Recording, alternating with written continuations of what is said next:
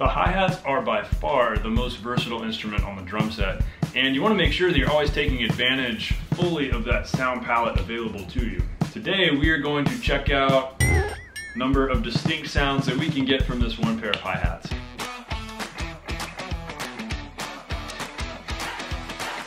Hey everybody, welcome to the Non-Glamorous Drummer. If you're new to the channel, be sure to hit the subscribe button below. Let's jump down to the kit. So today's topic is honestly pretty simple. We're just gonna go through a bunch of playing examples of me hitting the hi-hat in different spots, getting different sounds. And I know that there is technically an infinite number of degrees of looseness versus tightness with the hats. So we're not gonna get ridiculous with that. There's gonna be a couple different degrees I'll show you. But more importantly, we're talking about uh, what are the main very different types of sounds we can get, which has a lot to do with how we're hitting them, where we're hitting them. There's so many different angles and spots you can hit the hi-hats. So this is just to hopefully inspire some creativity because this works for any pair of hi-hats. It doesn't matter whether you like or don't like my K-Custom Dark 14-inch hats I got here. I could pull out my new beats and do the same kind of thing. The sounds would be a little bit different, but the differences would be similar. So you can do this with your hats, so feel free to experiment and try some of these ideas.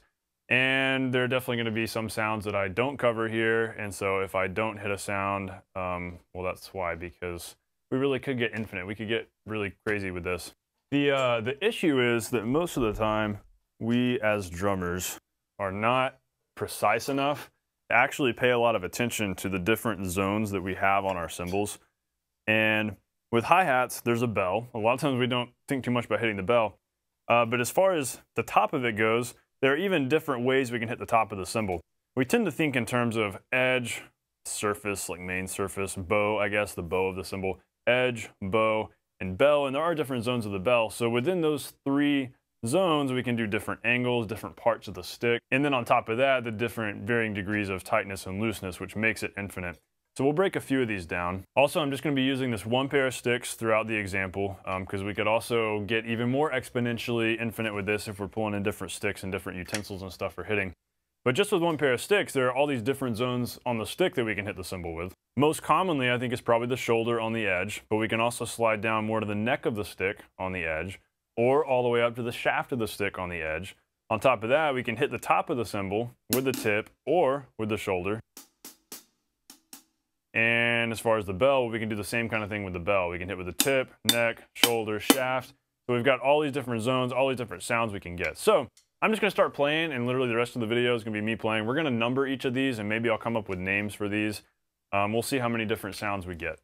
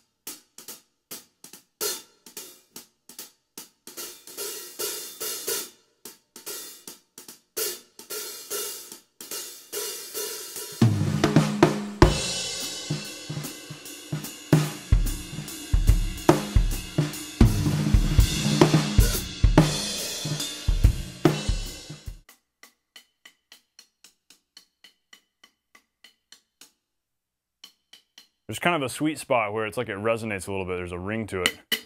If you're like me, you're always open to new ideas and you always want to hear new things and be inspired. So I hope that that maybe did that for you and you're able to go create some uh, other variations of that and some of your own sounds because the possibilities are endless when you pull out different sticks and different utensils and you put tape on them and you do other weird stuff and put a sizzler on it. So have fun. Hey, I hope you enjoyed this video and I hope it gave you some good info. If you have yet to become a fellow non-glamorous subscriber, be sure to do that and share the video before you go. Thanks guys, and I'll see you on the next video.